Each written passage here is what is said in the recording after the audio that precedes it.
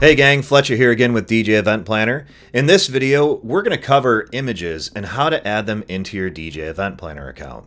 I will walk you through on adding your logo to your website tools, adding images to document and email templates, packages, add-ons, and client employee profile pictures.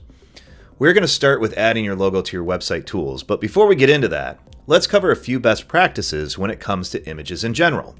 Now, if you feel you know everything about images already, please feel free to skip ahead. However, I highly encourage you not to skip ahead and take a look at some of these basics. It's always great to get a refresher. First and foremost, this one is basic. If you do not have an image logo, get one.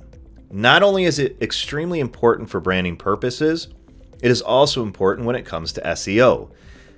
If you only have a text logo on your website and do not have a graphic for your logo, I encourage you, at minimum, turn your text logo into an image. You can do so by utilizing built-in tools on either your computer or mobile device by taking a screenshot and saving as an image file and uploading to your website. Let's also briefly touch on image optimization. What does image optimization mean and why does it matter to you? Well, there is a lot that can be done to optimize images, and I will briefly cover three important ones here for you. Image names, titles, image size, and using alternative text. For more information beyond those three and to further optimize your images, do a brief web search on image optimization for the web. So why image optimization, you ask? Primarily, it is used for SEO purposes, but also provides for a better user experience. So let's start with image names and titles. When you upload your images to your website or anywhere, make sure to give it a proper name or title. Search engines do not only look at the text on your website, they also look at your images. And if your images have non-relevant names, they will not provide any benefit. I see many users who have logos and images that have no definable name at all, and that can hurt your chances when it comes to clients finding you online. For example, for your logo, you could title it Company Name Logo. Other images could include your company name as well and a few descriptive words in the title. Please note, however, each image name should be unique. Next, let's look at image size. Well, size matters. Let's say you want to add an image of a recent event to your website's homepage. You upload the original file to your website and you use your website builder or CSS to resize it to fit on your page. Now, even though the image visibly looks smaller, it only does so because of some code. It is still actually loading the full-size image. What this equates to is the more data that your page has to load, the longer it will take to load. And the same is true inside of DJ Event Planner as well.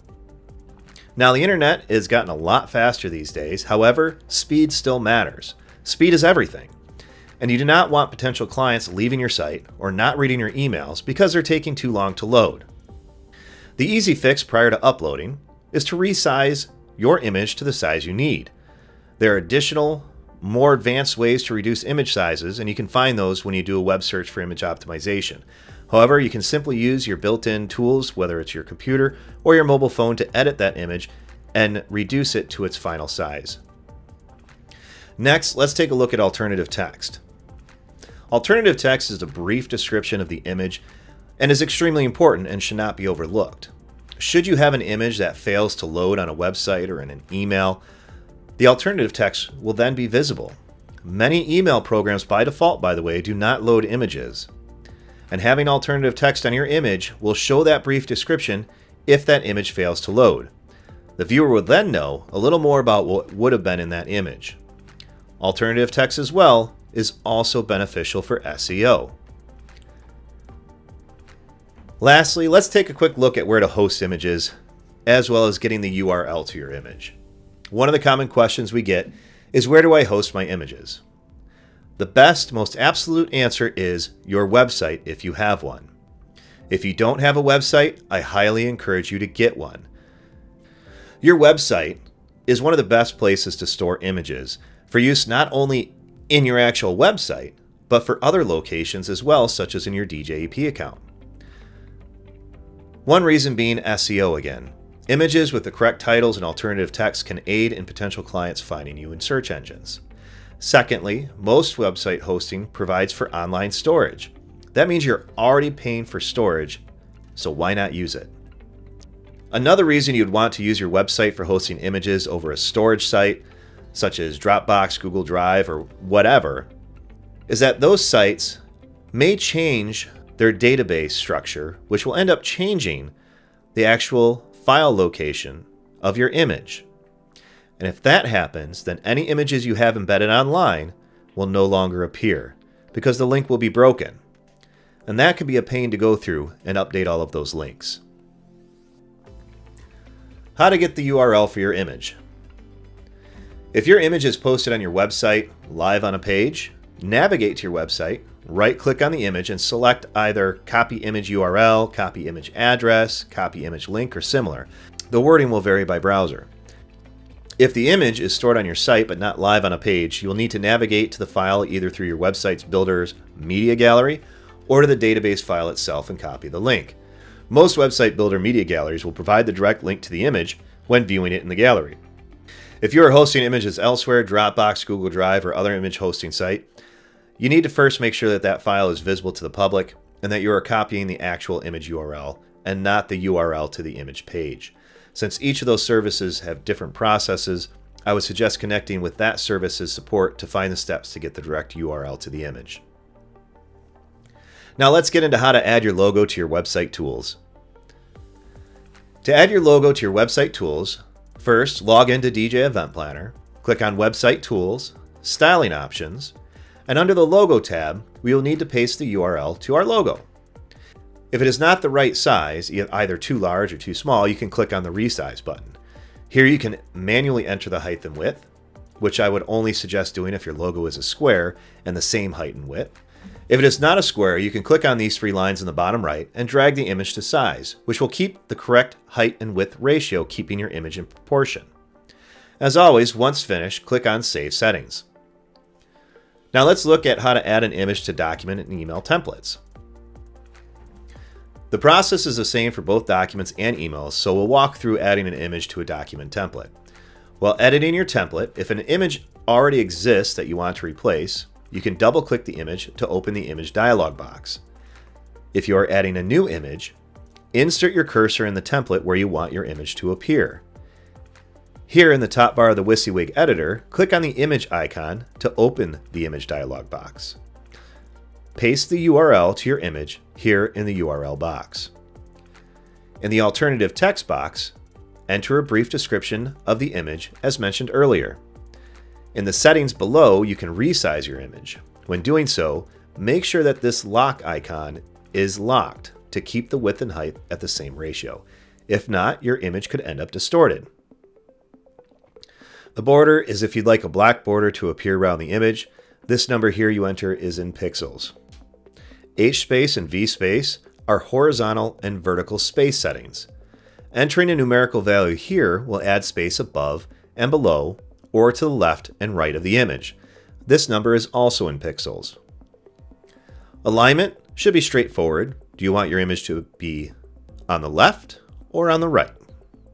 And lastly, if you'd like the image to link to a web page, when clicked, click on the Link tab and enter the URL to that web page.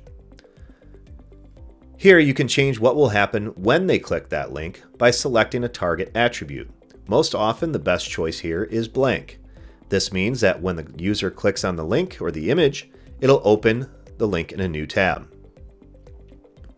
Once your settings are complete, click on OK. And as always, make sure to save the template.